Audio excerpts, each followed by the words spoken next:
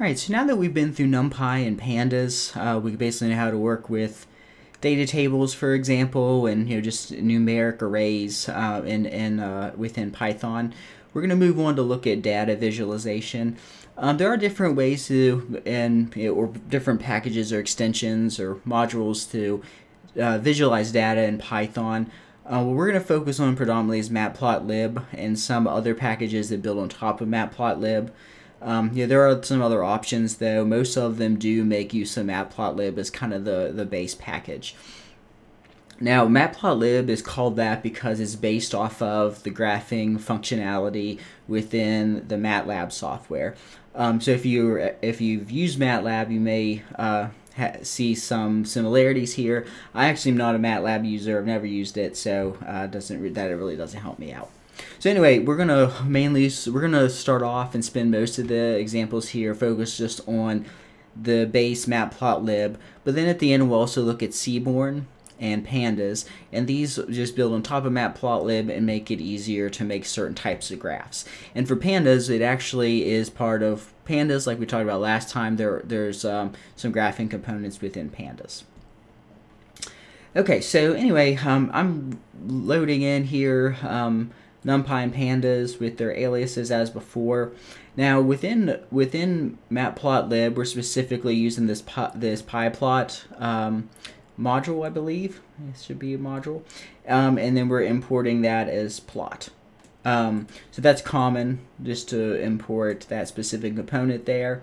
And then this just allows us to get the output in line. This is something you commonly do in notebooks.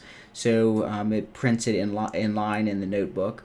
And then here I'm just changing the default uh, size of the um, plot so that it you know, fits nicely on the page here. All right, cool. So I think that's basically it. So again, I need to select a kernel um, that has matplotlib installed and Seaborn and, and pandas, obviously. Um, and then, again, if you run these imports, as long as you're in a in uh, a, an environment that has the packages, it shouldn't give you any errors. Okay, and then I'm going to read in a couple different data sets. So this first one is the Matt's Movies data set, which we looked at. Uh, we've already used in prior videos. But again, this is just a, a, set of movies that my brother curated. That's the movie name, the director, the release year, his rating, uh, the genre, and then whether or not he owns it or not. Um, this county, U.S. County Data 2, this is a data frame of info at the county level.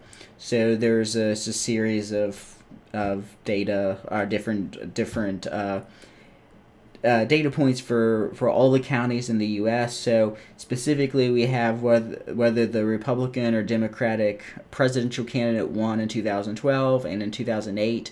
The percent that voted Democrat or Republican, I believe that was in 2012 or other um, the population density, the percent of the population greater than 55 years old, the percent of the population that are not that don't identify as as white or Caucasian, um, uh, percent vacant homes, median income, percent poverty, and then the state that it's inside of, and then the region of the country that it's inside of.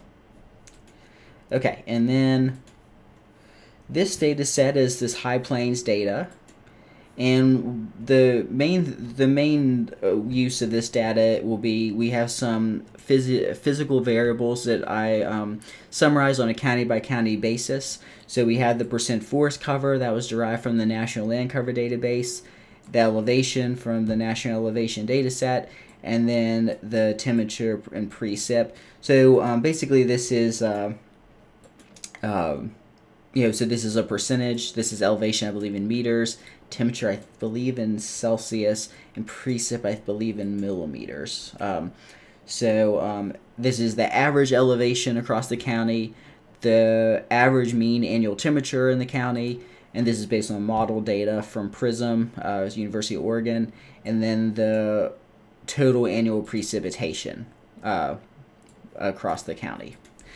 Um, so just some like physical variables there, and then lastly, I have this maple leaf. Um, this is we're going to use to make a line graph. But basically, this is um, the spectral reflectance of a leaf at different wavelengths. Um, so we're gonna make like a spectral reflectance curve for a leaf. Um, okay, so anyway, there's just some data, and I we are using multiple data sets this time because, um, yeah, there's it's hard to you know make a bunch of different types of graphs from the same data set. So I just have some different data here that you know we can look at different graphs.